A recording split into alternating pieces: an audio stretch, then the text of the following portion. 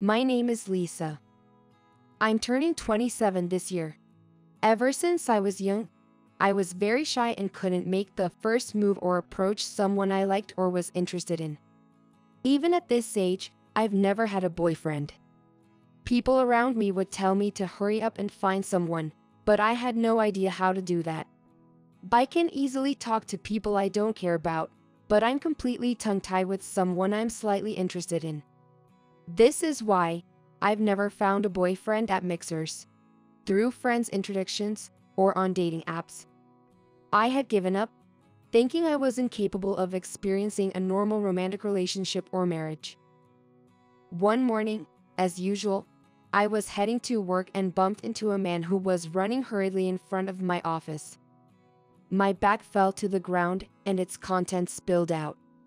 In my haste to pick things up, a man I bumped into also started helping, saying, I'm sorry. He was a handsome young man with slightly long hair, the kind who looked like a popular guy. Feeling embarrassed, I quickly gathered my things without saying a word and fled the scene. Hey, wait. I heard the man's voice behind me, but I didn't turn back. Later, while I was at work in the office, the section chief said, Okay, let me introduce everyone to the new employee. This is Charles, who will be working in the sales department starting today. The man standing next to the section chief greeted us. Nice to meet you all. It was the man I had bumped into in front of the company this morning. Wow, who is that guy? He's so handsome. The female employees were getting excited. I guess anyone would find him attractive. I couldn't believe he was joining our company. My heart was pounding. Charles noticed me and approached my desk. He then pulled out a tube of lip balm from his pocket, saying, This. You dropped it this morning. Sorry for bumping into you. I was in a hurry because I was going to be late. Blushing, I took the lip balm from him. God, thank you. That was all I could manage to say. I couldn't even see his eyes. Charles smiled gently and said, So, we work at the same company. Looking forward to working with you. Then he left. Feeling the intense gazes of the other female employees, I escaped to the bathroom.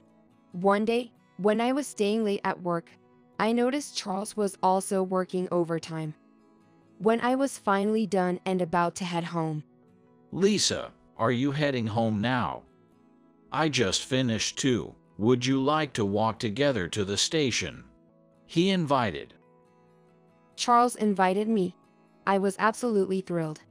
But out of embarrassment, I said I have something urgent to take care of, sorry, and immediately left.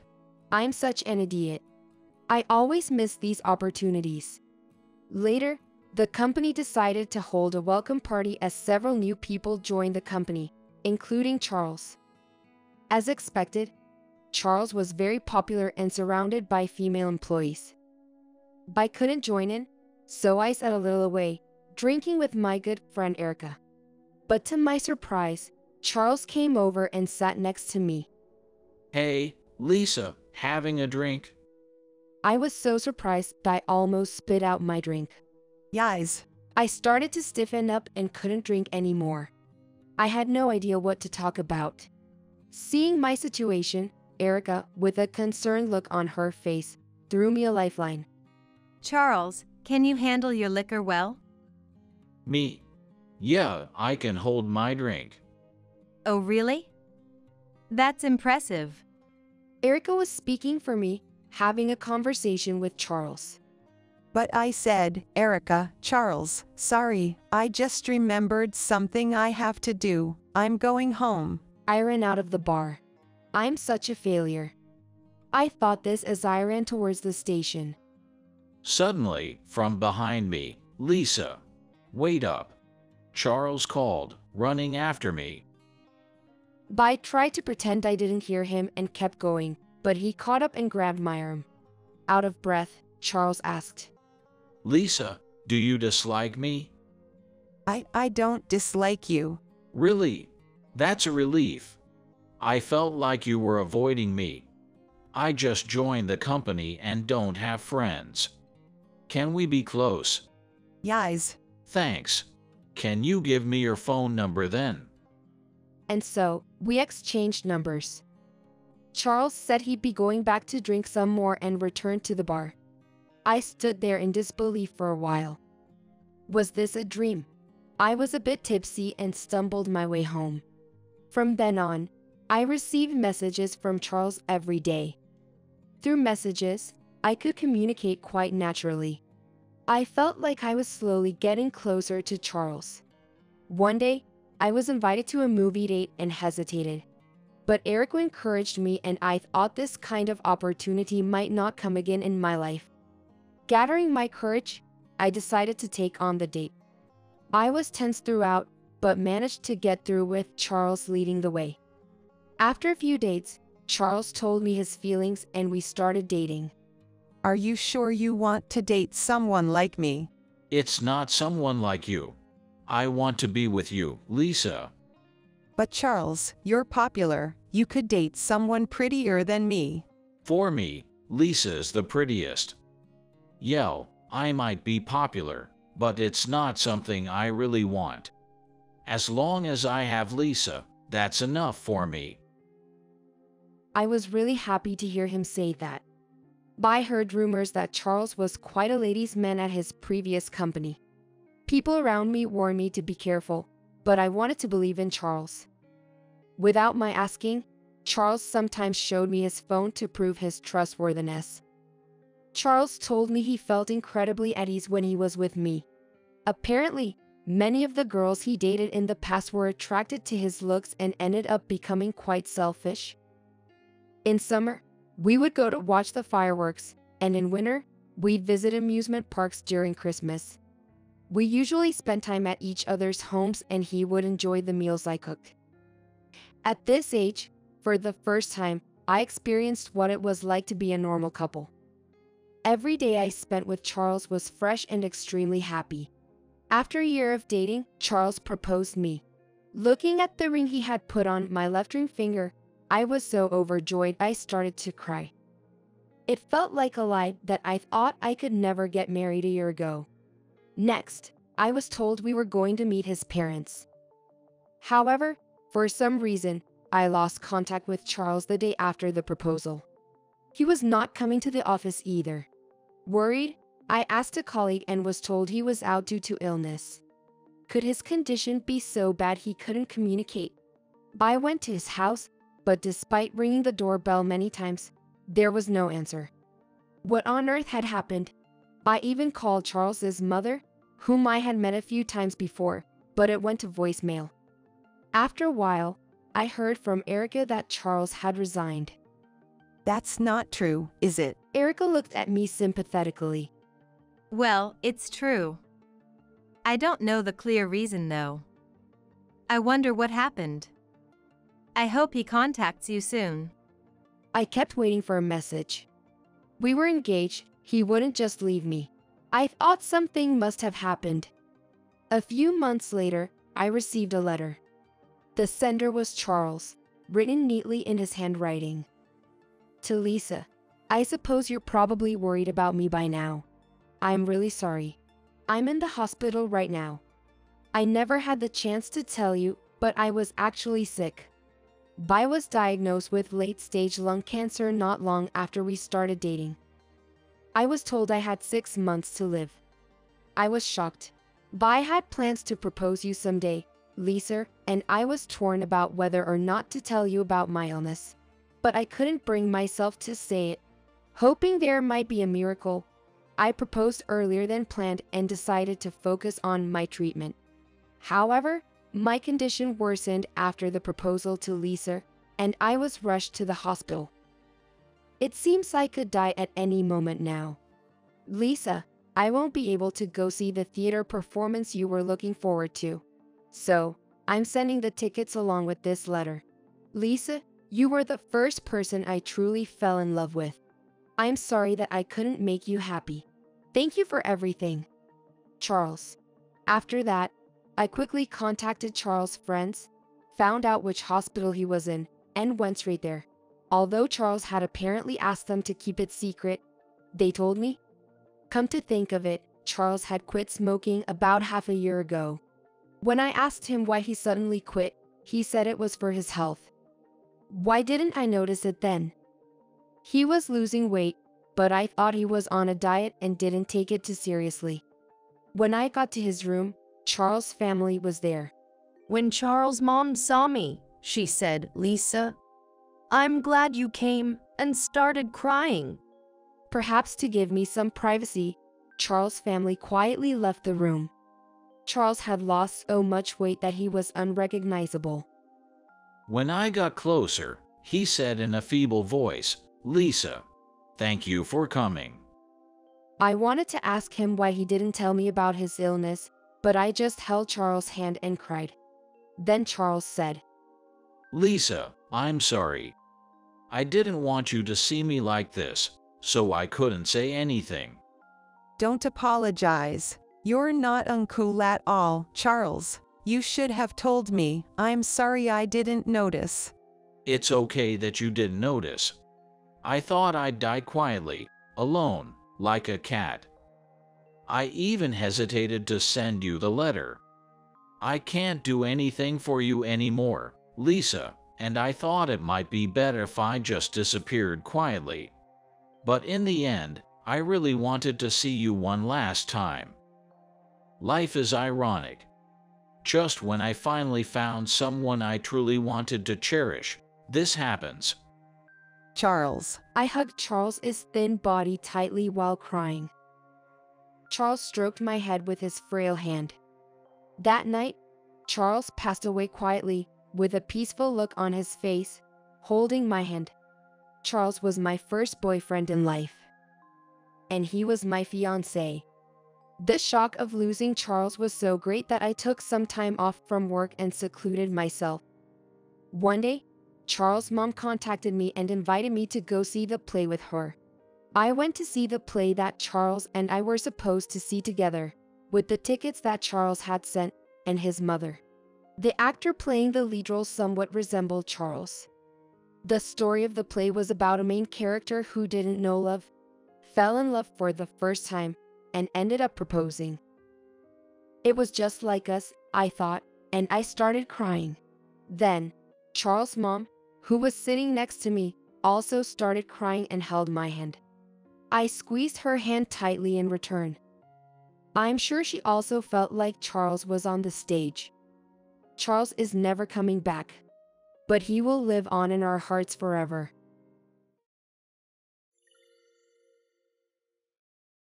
How was cheerleading today?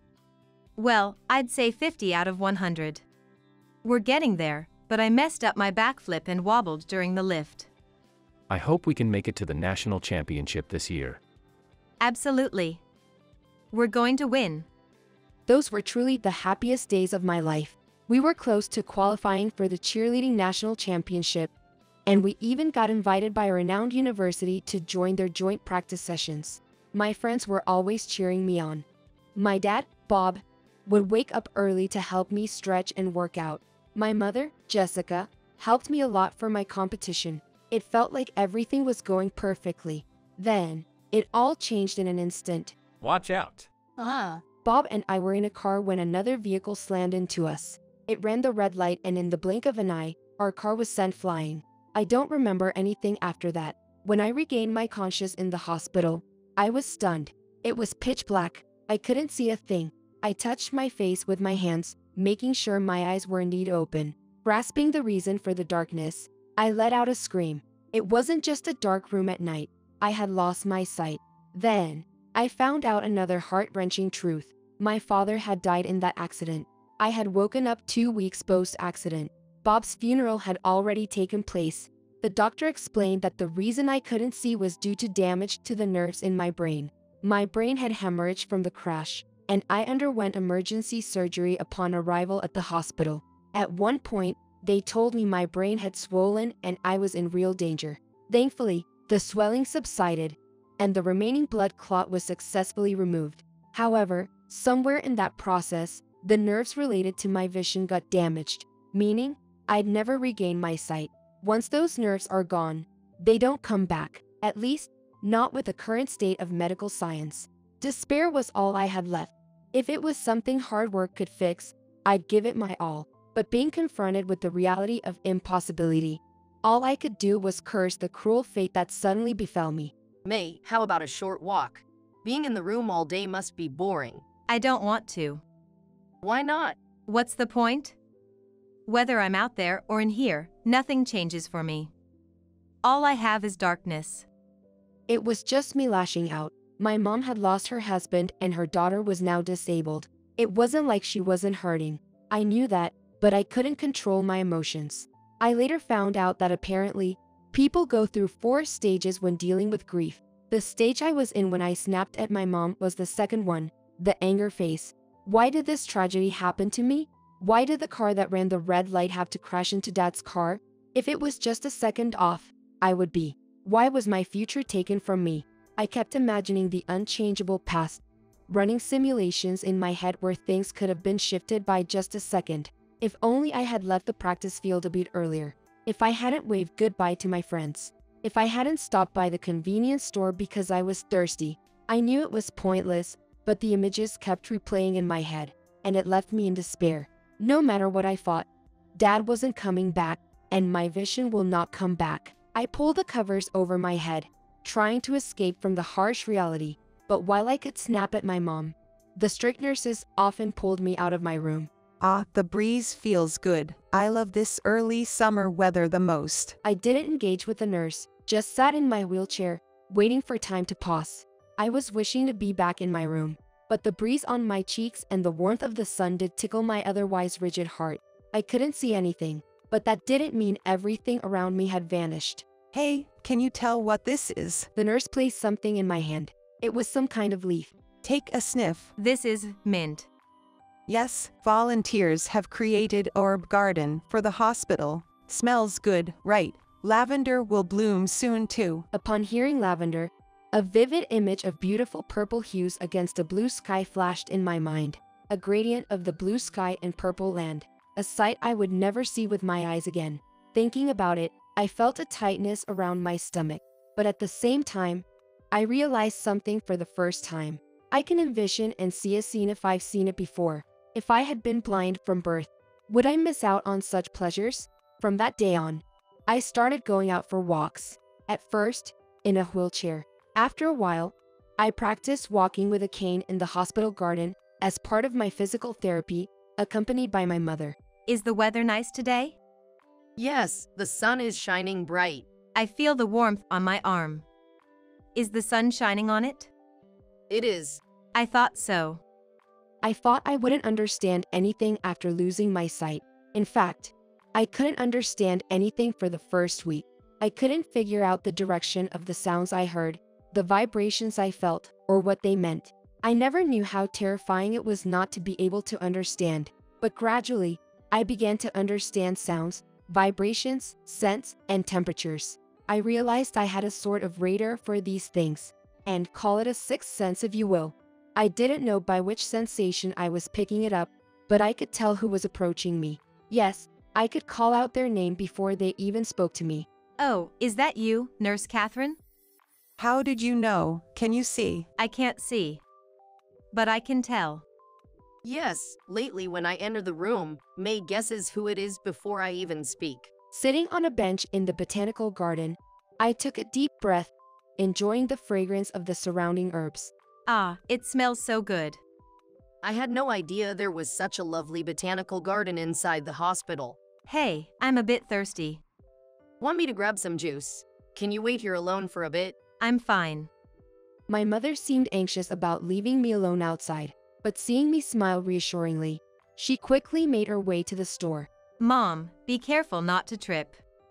It might have been since I first started elementary school that I needed such resolve to act on my own. The first time I walked home from school by myself, making sure not to get lost. I followed the path through the neighborhood as I was taught. Going back to those times, I have to train myself to act alone once again. Just as I was thinking that, I accidentally dropped my cane. I felt around the bench with my hand, but there was nothing to touch, and I couldn't find anything by feeling the ground with my feet either. Slowly, I stood up from the bench and crouched down, searching the ground with my hands. At that moment, unfamiliar footsteps stopped right beside me. Are you okay? Your white cane is about two inches to your right. Oh, thank you. The voice belonged to a young man. As he had told me, I reached out just a little more and felt the sturdy cane touch my fingertips. I gripped the cane firmly and slowly stood up. Want to sit on the bench? I Need help getting there? Yes, please. Okay, I'm going to touch your left arm. All right. He gently placed his hand around my left wrist and slowly guided me. Take two steps backward. There you go. The bench is right behind you. I was guided by his hand to the seat and was sure I could sit down. I hesitated for a moment and then sighed in relief as I sat. Thank you so much. No problem. Did you lose your sight recently? Yes. I woke up blind after an accident. It's been about a month. I see. Must be hard getting used to it. The man, who introduced himself as Luke, told me his sister had just given birth in this hospital and he had come to visit his nephew. He also mentioned that he sometimes volunteered to maintain the botanical garden here. If you come to this garden again, we might run into each other. Yes, maybe. Then, I heard my mother's footsteps approaching. I was about to introduce Luke to my mother, but before I could, my mom spoke up. Excuse me, who are you? Did you do something to my daughter? My mom's tone was distant and suspicious. No, I'll be leaving now. Mom? Take care, May, and be careful not to drop your cane next time. With that, Luke walked away from me. Luke helped me when I dropped my cane. And you didn't even thank him. Oh? I thought he was hitting on you because he had a lot of piercings and looked like a pink. He wasn't. He was here to visit his sister who had just given birth. He also said he volunteers at this botanical garden. Oh, I see. Can't judge a book by its cover, huh? I shouldn't have jumped to conclusions. I was mad at my mom for her behavior. I couldn't believe she treated someone that helped me that way. But if I had seen him the way my mom described, I might have been scared too. If I could see, I definitely wouldn't have approached someone like him. Next time I see him, I need to thank him and apologize. I kept going for walks in the botanical garden, and whenever I met Luke, we talked about various things how I used to do cheerleading, how I could do a backflip. Luke also shared that he's in a band, and recently, he's been thinking that working with plants might be a good idea. A month after my hospitalization, I was discharged, but I still went to the hospital for checkups and physical therapy. I joined the Botanical Gardens volunteer work every second Saturday when I knew Luke would be there. I mean, I couldn't really contribute much, but the volunteers were always happy to see me. Five months after the accident, I was getting ready for volunteer work again and waiting for my mom, who was coming down from upstairs to drive me. Mom? Let's go already. Urged by my voice, my mom descended the stairs, but I felt something was off about her footsteps and breathing. Mom? Are you feeling okay? I'm fine. We're going to volunteer, right? Yeah, but if you're not feeling well, you don't have to push yourself.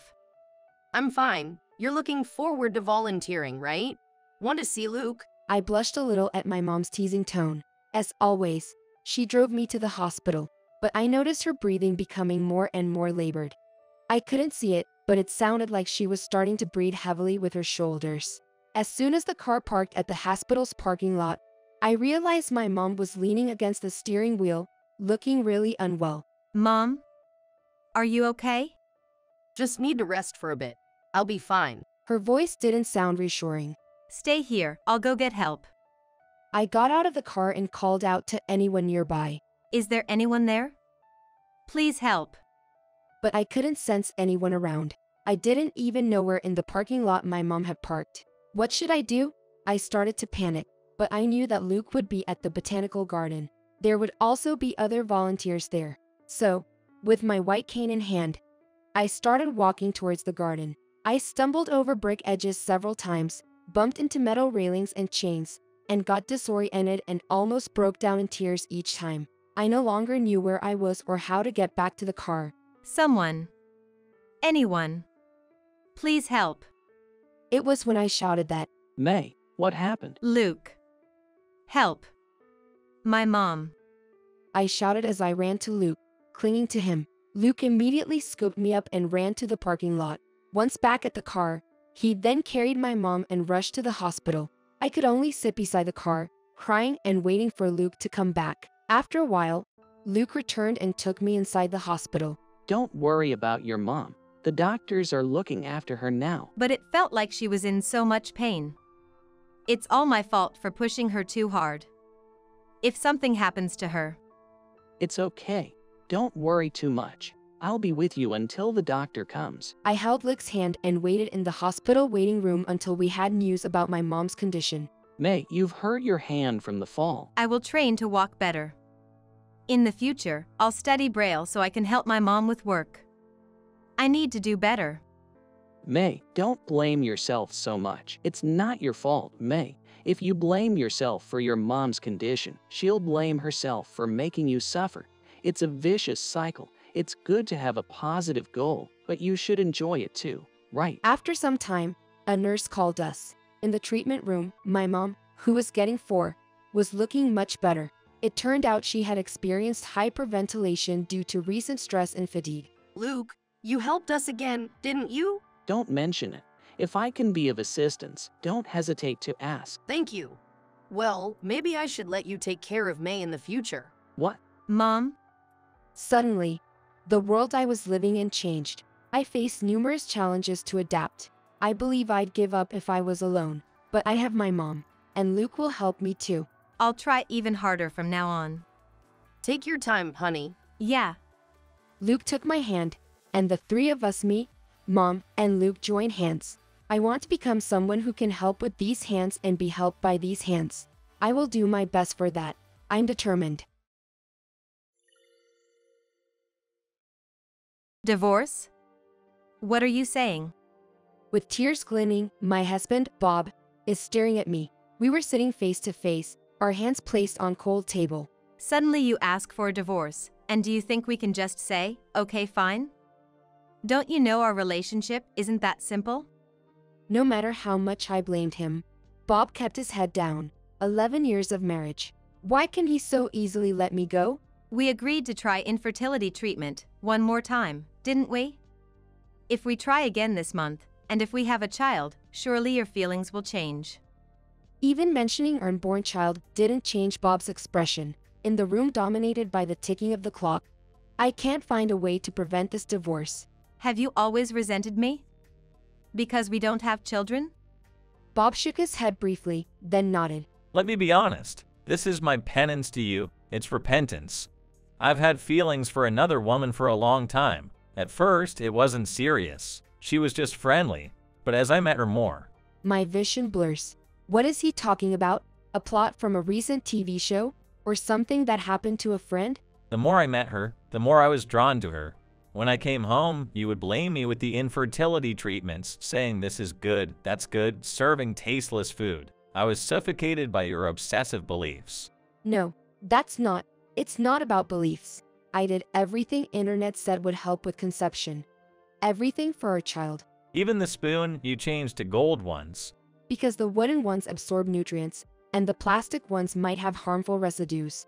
I watched a video of a woman who conceived by using that spoon. I'm fed up. What's the point? Clinging to unproven things. Bob stared at me with bloodshot eyes. Having a child is a miracle. Miracles don't happen by chance. You have to make preparations for miracles to happen. Then Bob let out a sigh. She's pregnant. When his words hit me, a sharp pain struck my lower abdomen. 11 years. We spent tens. No, hundreds of thousands of dollars on treatments and products that were said to help with conception. Why won't a baby come into me? There was nothing wrong with both of our tests. We followed the doctor's advice, kept our bodies warm, and were mindful about our diet. I'm sorry, Sarah. I can't go back. Hate me. Bob said so and went back to his room. Right then, an email arrived. It was from the person who always gives me bread. She got pregnant after starting to eat that bread. How much do you want this time? Desperately, I replied, Bob asked for a divorce.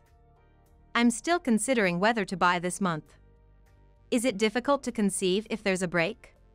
I wanted her to say it wasn't, but my wish was in vain, and no reply came. Everyone was the same.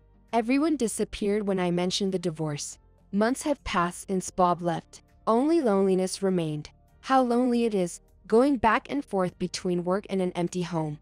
I put the remaining bread on a plate and placed with the discounted deli food from the supermarket. Let's eat. I whispered softly and turned on the TV with the remote control. On the TV, an anchor was displayed, making a serious call to someone. So, the pregnancy germ thing is a hoax, right? Absolutely not. Some of the buyers indeed became pregnant. A voice blurred by a sound mosaic flowed. Is there scientific evidence? The call was cut off without a response. The program had a caption that read malicious fraud. The evil hands creeping into fertility quest, and I burst into laughter, tears overflowing from that moment. Lies, lies, they were all lies. I couldn't even wipe away the tears flowing incessantly. I just let them stream down, wanting to forget everything. I requested a transfer from the headquarters to a local grocery store. It was in the countryside, but since my parents lived there, I could also distract myself by meeting them. You're a good natured person. It was unfortunate about Bob, but well, a tumultuous life is more fun. My mom laughed. I couldn't honestly talk about being immersed in cult like farts, being scammed, or that my husband had an affair and got someone pregnant. I have a welcome party today, so I don't need dinner. Putting on my shoes, I told my mother standing behind me. Don't drink too much, she said, rubbing my shoulder. Having always been an office worker since graduating college, my body couldn't keep up with the jobs of supermarket. First, I was in charge of stocking and inspecting items to understand the situation. In the large supermarket, it was overwhelming just to remember where everything was located. No time to take notes. I rushed around making sure there were no stockouts.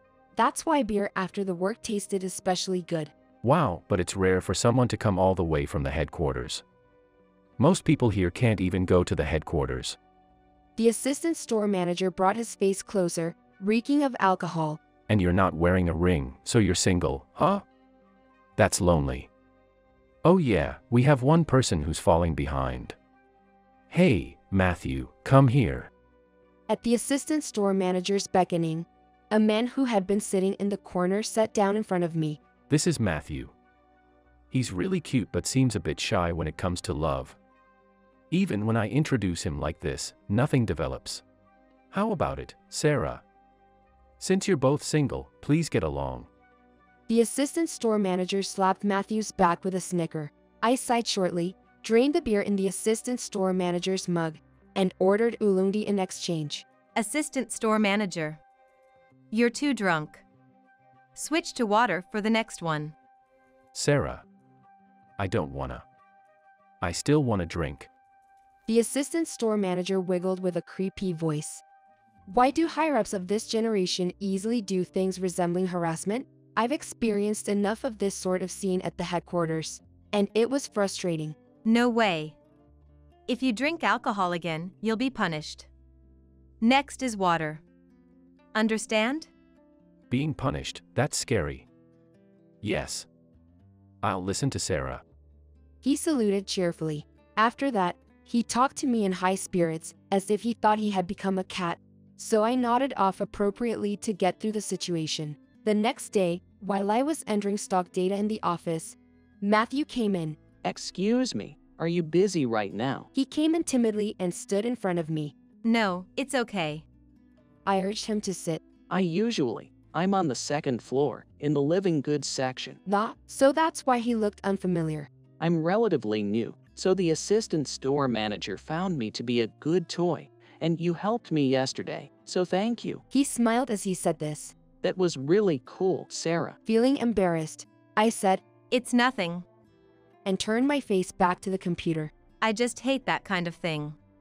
You're very straightforward. I'm so timid. My job hunting didn't go well. Oh, I don't like this. The topic has shifted.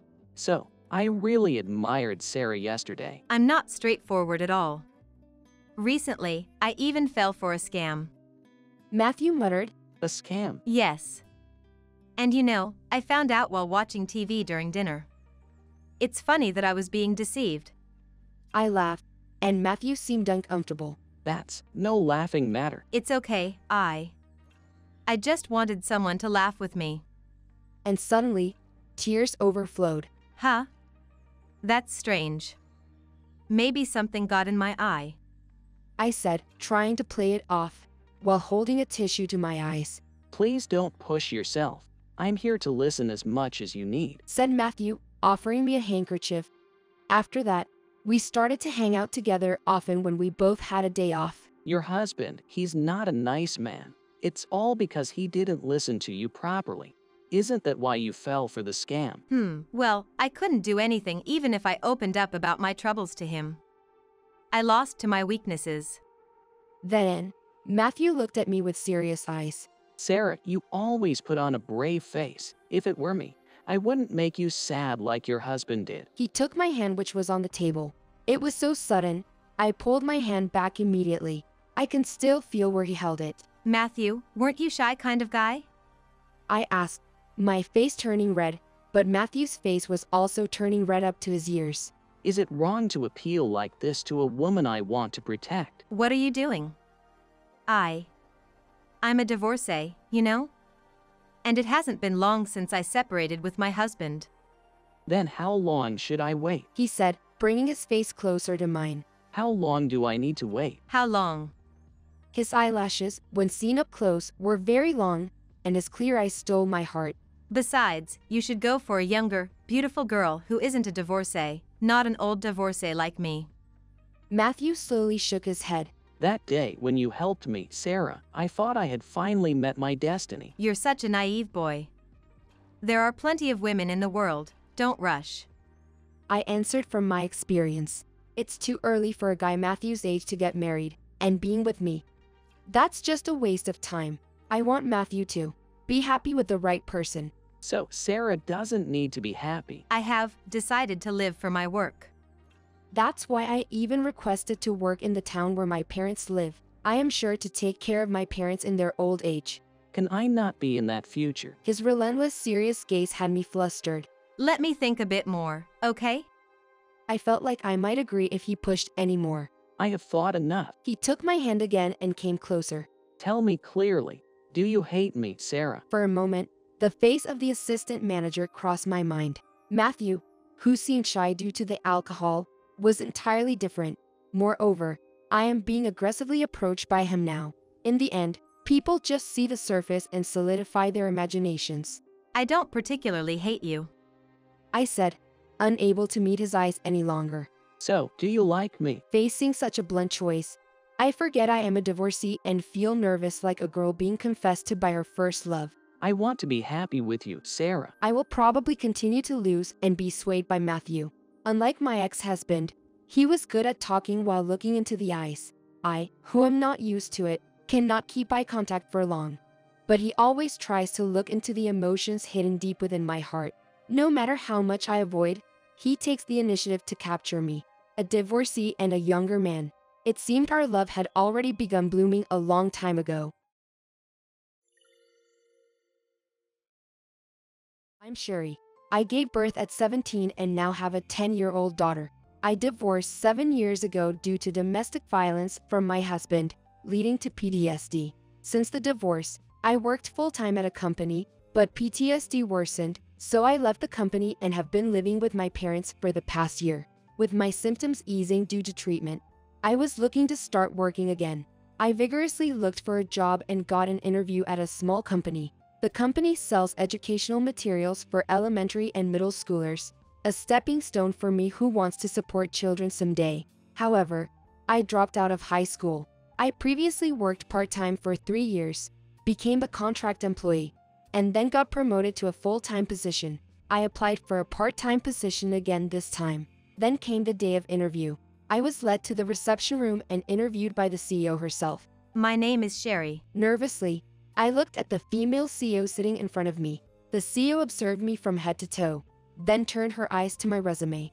I could see her eyebrows furrow as she read my resume. So you dropped out of high school. I saw that coming. Yes.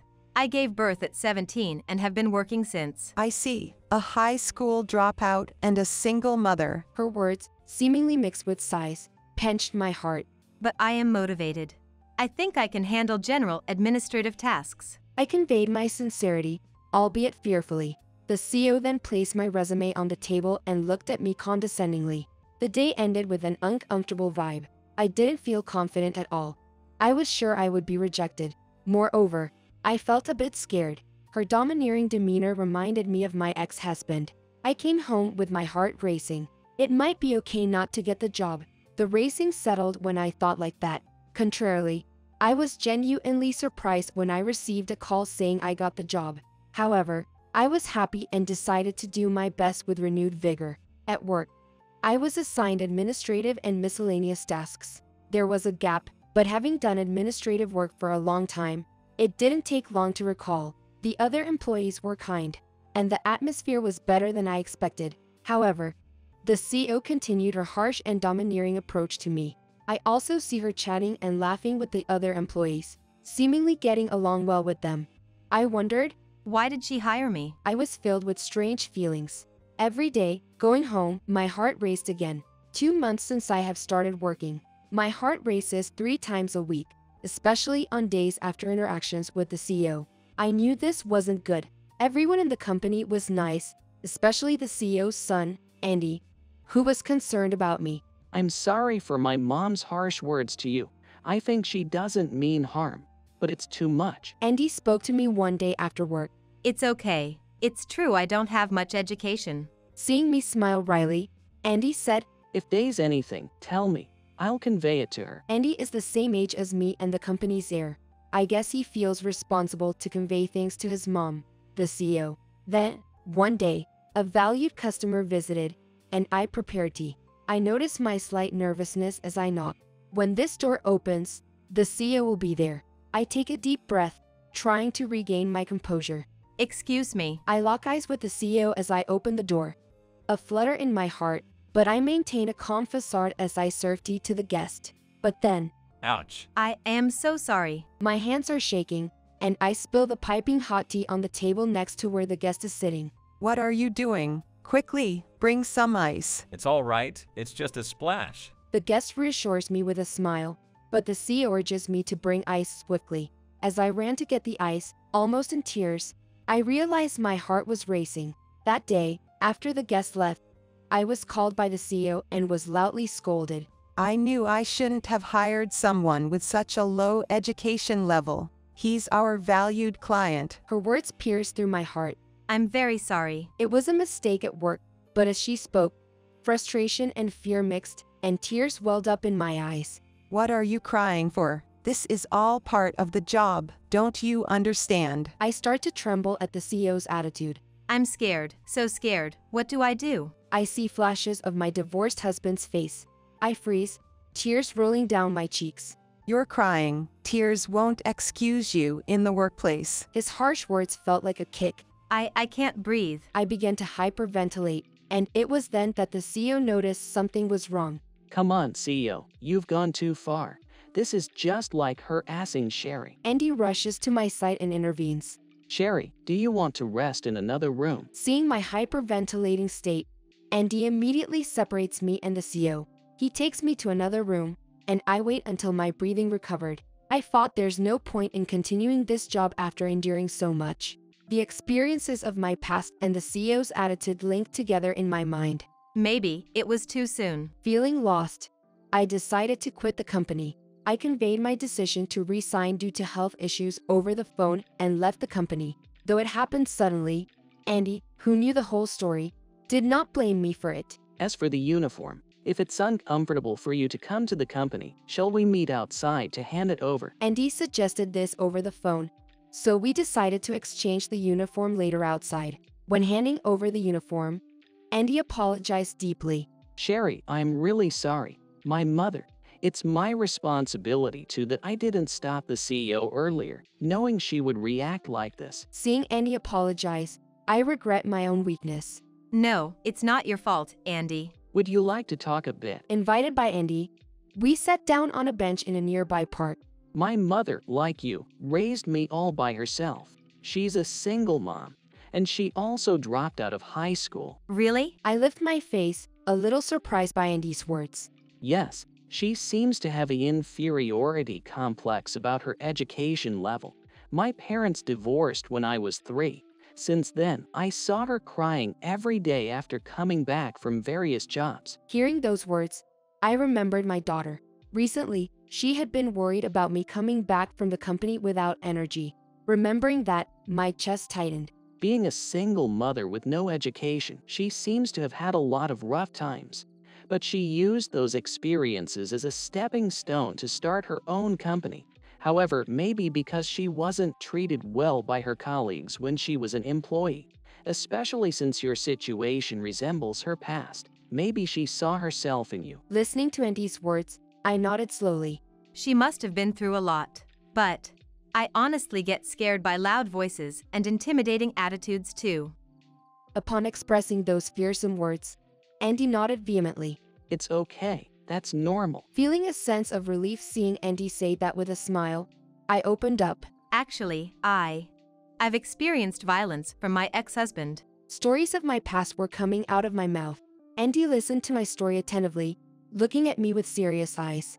Oh, I'm sorry. My story is irrelevant, isn't it? I didn't intend to share my life story, and I blushed. Thank you for sharing. I believe there are better workplaces out there. I'm the successor of that company, so I've decided to be more proactive in conveying various things to the president. Saying that, Andy apologized again. Thank you for today. I thanked Andy, and we parted ways. Watching Andy's back getting distant, I felt oddly lonely. I probably won't see him again. After quitting my job, I attended counseling for a while to mend my body and soul, but I was also frustrated with my indecisiveness. It really did hurt to be spoken to that way because of my lack of education. The bitterness motivated me. Even the CEO said she was able to build up the company with her resentment as a springboard. I can do something too. I'll get my GED. Thinking that, I started studying for my GED from that day. I asked a nearby tutoring center to teach me, and I earned the tuition by working part-time at a convenience store in the early mornings. The store wasn't very crowded, and the manager was reticent, so I didn't feel intimidated like before. Now, having a goal gave meaning to my work. Ten years have passed since then. My daughter has grown up well and is now employed. I work as a support staff at an after-school program. When I was working to earn that high school diploma certification, I studied alongside my daughter. I even attended a social work college and finally fulfilled my dream of supporting children. I finally found my worth in spending my days with the children. Then one day, while I was alone in the office, Excuse me. a man knocked on the door. Thinking it was a salesperson, I opened the door to see a man standing with a large bag and a smile. I almost lost my breath at that moment. Oh, I unintentionally let out a voice, and the man looked puzzled, but in the next moment, he seemed to remember something. Could it be? He also looked at me in surprise. are you Andy? You are Andy, aren't you? I noticed the excitement in my voice. Sherry, I knew it. You remembered. Of course, I remember. Have you been well? We naturally smiled and rejoiced at our reunion. Would you like some tea inside? I said to Andy, inviting her in. He was in the middle of selling learning materials for elementary schoolers. I made tea and brought it to Andy. Thank you. I never thought we'd meet again like this. Drinking the tea I made, Andy said that. Have you been doing the same job, and did you take over? When I asked, Andy's face clouded over for a moment. Afterward, he told me everything that had happened over the past 10 years. It seems the company ran into severe financial difficulties shortly after I left the company. Perhaps because of that, the president's behavior toward the employees worsened, and the number of employees drastically decreased. Around the same time, it seems the president suffered a stroke. Even out, her lower body is paralyzed, and she is residing in a facility. I was at a loss for words when I heard this. My mom regrets her attitude when she was the president. She feels firsthand that she ruined the company. She cries every day, saying it's too late to regret now. Occasionally, she mentions your name, Sherry, saying she didn't know how to be kind and ended up hurting you. I felt indescribable upon hearing these words from Andy and looked down. At that time, I was frustrated. But I used that frustration to get my high school diploma and managed to go to a school for social work. As I said in a soft voice, Andy looked at me with kind eyes. You are a resilient person. I didn't stop you when you said you were leaving because I wanted you to move forward, believing in your strength. I felt a bit happy at Andy's words. But honestly, I wanted to stop you. I think if I had been more firm, things might have been different. Hearing Andy's muttered words, I felt suddenly embarrassed and looked away. That day, I exchanged contact information with Andy. We became friends who occasionally email or call each other, updating one another on our lives and offering words of encouragement. It's been 10 years since I left the company. However, I was aware that his presence within me had grown. One day, Would you be willing to meet with my mom? I was honestly not sure when Andy asked me this. I was worried the fear might come back, and there was a part of me that somehow still couldn't forgive her. But she is also the person who made me who I am now. If it wasn't for her, I might not be where I am today, and I might have been stuck, compromising and maintaining the status quo. I understand. I'll meet her. I said, conveying my decision to meet the former president. Then, led by Andy, I went to the facility where she resides. I was nervous, but strangely not afraid, as Andy was with me. We were waiting for her in the visitor's room when a knock was heard and the door opened quietly. There she was, sitting in a wheelchair, looking a bit sad. It's been a while. Thank you for coming. The president bowed her head while still in the wheelchair and suddenly started sobbing. Are you okay? I hurriedly asked, and she nodded while crying and apologized me many times. And then, I didn't think you'd come. I am really sorry for what I did. I don't know what to say. I have done something truly unforgivable to you. I rushed to her and handed her my handkerchief. It's okay. Well, I was honestly scared and hurt at that time. But I could turn the regret into my drive because of what you said. Hearing my words, she cried even more. She told me that she saw herself in me, being a single mother without education when she was young. And I shared that I had PTSD due to domestic violence from my ex husband, and my mental health was deteriorated. I thought that if it wasn't for Andy, I might have done something much worse to you. I've been thinking I needed to apologize. It's not something forgivable, though. At her words, I shook my head. I was glad that I could honestly convey my fear and pain. The president and I reconciled after 10 years. Thank you for today. On the way back, Andy thanked me. No, I'm glad I met her. The lump in my chest is finally gone. Smiling, I was about to wave at Andy when There's something I've wanted to say for a long time. I could feel my pulse quicken at his words. I never forgot about you, Sherry, in these 10 years. I liked you since we were working together. If something happens, I want to protect you this time. Will you go out with me? My heart was pounding so hard, it felt like it was going to jump out of my mouth. Too embarrassed to let him see my blushing face, I looked sideways and answered. I liked you too. Please take care of me. With the autumn breeze, the gentle sound of insects came into my ears.